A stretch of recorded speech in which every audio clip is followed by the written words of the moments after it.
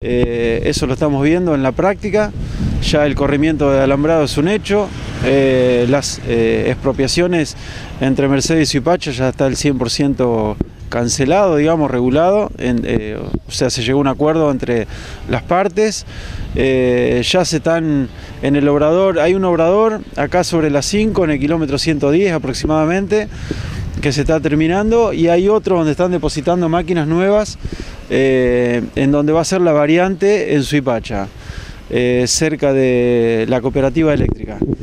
Eh, eso es un indicio de que ya están todas las condiciones dadas como para que en cualquier momento empiecen eh, con las obras que todos queremos ver. Eh, Mozo, eh, a ver, hay un mapa que marca una variante importante en el trayecto de Ruta 5. Exactamente. lo mismo que hace muchos años sucedió acá en Mercedes, con la variante que hoy ya todos se olvidaron, parece que estamos, la teníamos incorporada. eso va a suceder en Suipacha, en Alberti y en Bragado. perdón, y en Santa Rosa La Pampa y en Chivicoy. Eh, o sea, Suipacha, Alberti, Chivicoy y Santa Rosa La Pampa. Eh, esa variante es muy productiva por el, bueno, porque todo el, caudal de auto, el parque automotor que va a una velocidad promedio eh, no va a tener que pasar por dentro de ninguna localidad, como está sucediendo hoy, con todos los peligros que eso conlleva. Si bien trajo algunas unas movilizaciones, sobre todo la Federación de Estaciones de Servicio, más que nada en Chivicoy, preocupados por el tema de cómo van a bajar las ventas.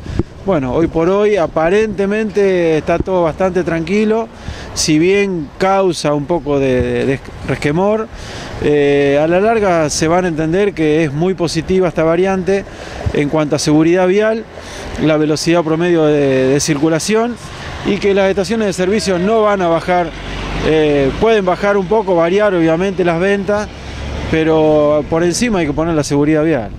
Esto de la instalación de obradores en este sector de Mercedes y Pacha marca que la obra fuerte va a comenzar por acá. Exactamente, porque todo depende de las expropiaciones, como habíamos hablado ya días anteriores, eh, donde más avancen las expropiaciones o, el, convenio, digamos, entre Vialidad y los frentistas, eh, ahí la empresa va a instalar obrador y ya empieza a trabajar rápidamente. E-, ¿Ese tramo de, los 8 kilómetros de Mercedes eh, también estaría en esta primera parte? Está todo incluido, incluso la finalización del bypass de Luján.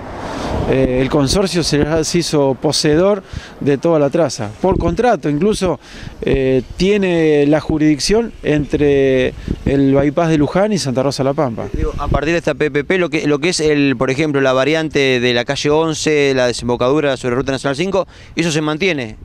Digo, se mantiene, por eso, se mantiene claro, como se había proyectado. Exactamente, el sistema es el mismo, eh, va a haber dos puentes, uno en la avenida de los inmigrantes y el otro en el acceso sur, eh, cruces en altura totalmente, y bueno, todo eso está contemplado en estos cuatro años, y estamos todos con ansias de ver que las obras comiencen fuertemente.